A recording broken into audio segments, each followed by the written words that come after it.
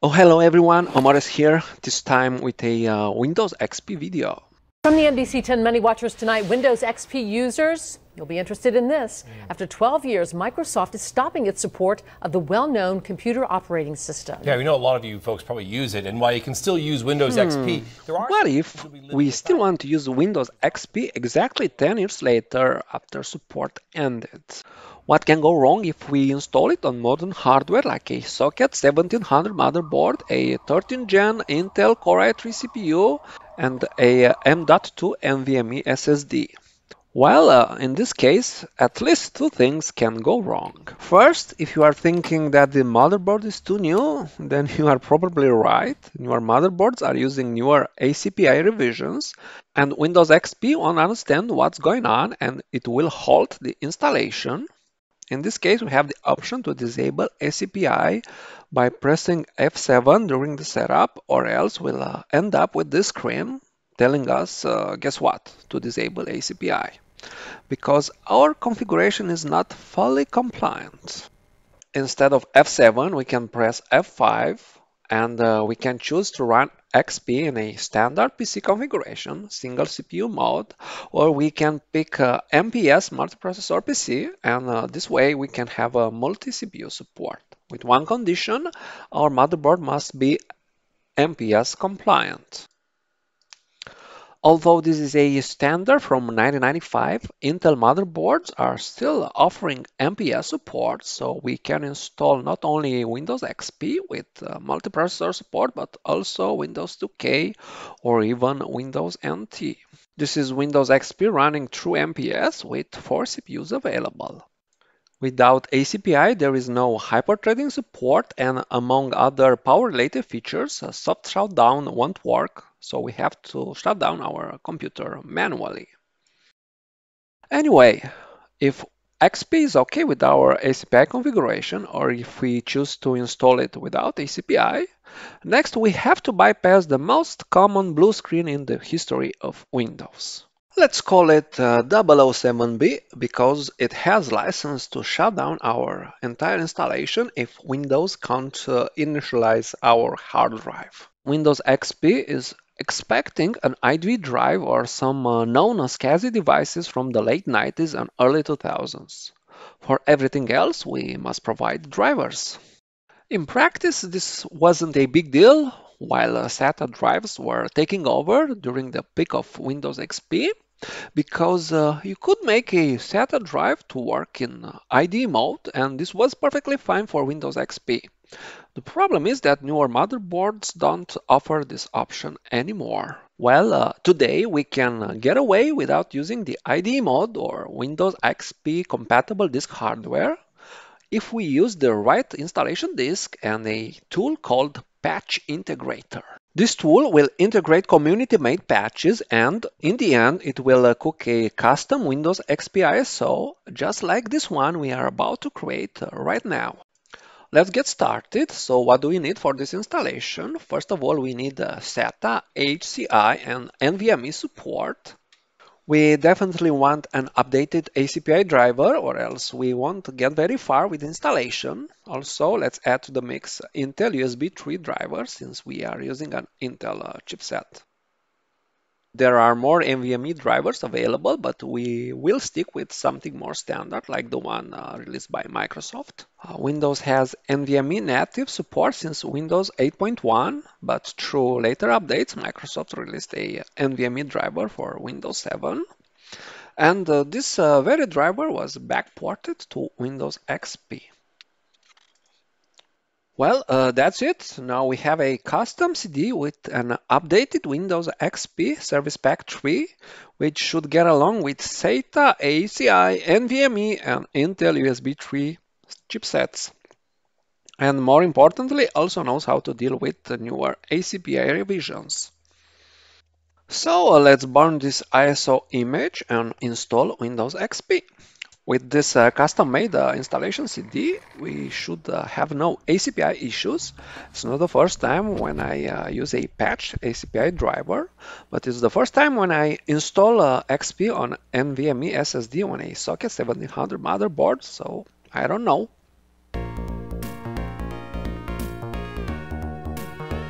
The first part of the installation works as uh, expected. At this uh, time, uh, either we get the 00007B blue screen, or we get the welcome to setup screen, which means that our fixed uh, drive is recognized. Setup is starting Windows. Well, what do you know? Welcome to setup. Of course, we want to press enter and see if our NVMe driver is in charge, and uh, definitely is if we see store NVMe listed in the screen. So far looks like it's uh, 2003 again, we start installation, our drive is recognized as this should be totally normal, and we also have a FAT32 partition with Windows 98 on it, because it's 20... what? what year? But never mind. We're gonna format this partition also FAT32 so it can be used from Windows 98 and later the rest of the drive can be used with uh, Windows 10 in a triple boot setup.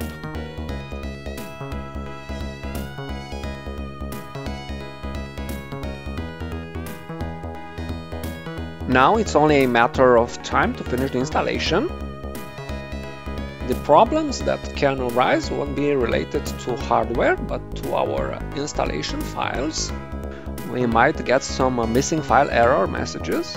This is the Windows XP Integral Edition and has lots of extra third-party software to be installed. We can skip this part if we want to, but it will save us a lot of time if we choose not to. At the end, the installation is set to automatically restart. And there you have it, Windows XP Service Pack 3 running on almost the latest generation Intel desktop CPU using an uh, NVMe drive. Not everything is so new, we have uh, also this uh, 2006 NVIDIA GeForce 7900 GS which is a great pick in a multi-boot setup with Windows 98.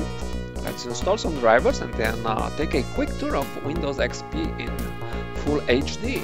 Some sound would be nice too. This motherboard has a uh, classic PCI slot, so I'm using it with an Advanced Logic uh, PCI sound card. By the way, Advanced Logic was bought by Realtek, and if you ever wonder why your onboard card is called ALC, well, AL comes from advanced logic and see, I don't know, maybe from a codec.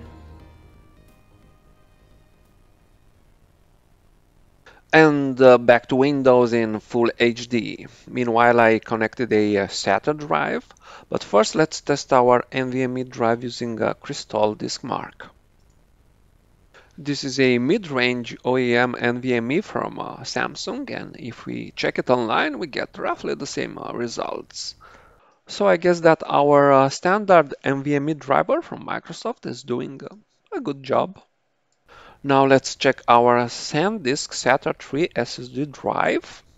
Well, it looks like we are uh, getting the exact advertised speeds. Next, let's uh, check this uh, Kingston uh, USB 3.2 external SSD. So far, I didn't even check the USB ports if they work. It sounds like they working uh, just fine. Found new hardware, standard USB attached SCSI mass storage device. Okay. Now let's see what reading speeds do we get. Hmm. So far uh, not great, uh, not terrible either. This drive can uh, go up to 1000 megabytes per second. I know for sure, but I guess this is good enough. Now let's take a quick look at our uh, hardware using the latest hardware info.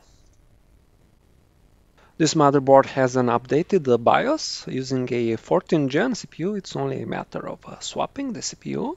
Under ACPI section, there are listed many ACPI devices. Most of them will be correctly recognized by Windows XP. By the way, let's make a quick tour of our hardware using Device Manager. Things are looking good. We have NVMe, SATA 3 and USB 3 devices listed. There are a few unknown ACPI devices and some onboard uh, devices that are still waiting for drivers. The sound card should work. If not, we still can get sound through HDMI. The gigabit networking card I know for sure won't work, so we have to find something else. Overall, uh, I think we can't complain. After all, uh, Windows XP was launched in 2001. How about uh, going online? Well, uh, I think this is the easiest part.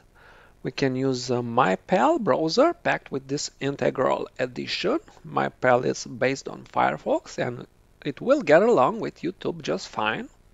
I mean, uh, getting on YouTube is the greatest achievement for a browser running on some older operating system.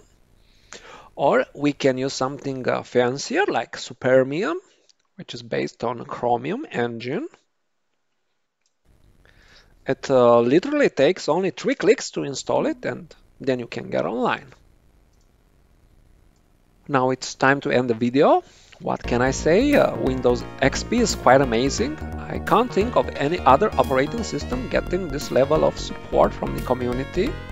This particular installation was easy to perform since I used a uh, PS2 mouse and keyboard and a SATA drive. I have to check if the USB 3 controller gets recognized during the setup so we can use the USB mouse and keyboard. I'll uh, put this info into the description. Let's end with a new benchmark from the creators of uh, Crystal Disk Mark and Disk Info. It's called uh, Crystal Mark Retro. I actually downloaded accidentally when I was trying to get Crystal Disk Mark. It's quite new, like a month old. And I really like those Athlon XP CPUs during the video benchmark. Thanks for watching, see you next time.